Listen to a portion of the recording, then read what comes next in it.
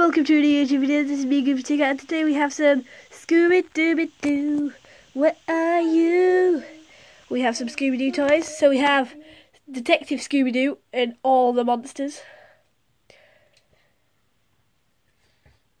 And then we have another Detective Scooby Doo, but he has like ghost ectoplasm on him. We have a glow in the dark Chef Scooby. We have um, a skeleton Scooby Doo. We have Daphne laying down because she can't stand up.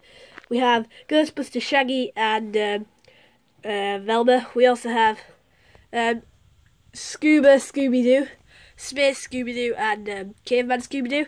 We also have um, figures of um, Bendy Scooby Doo, Bendy Daphne, and um, a figure of Fred.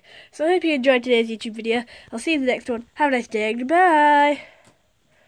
Right. So Scooby Dooby Doo.